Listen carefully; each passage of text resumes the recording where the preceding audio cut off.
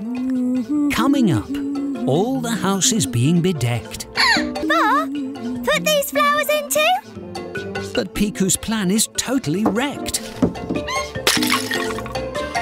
Sorry, Ma. What can be done with a broken vase? Ma's an artist and up to the task. Ta-da! Ta-da!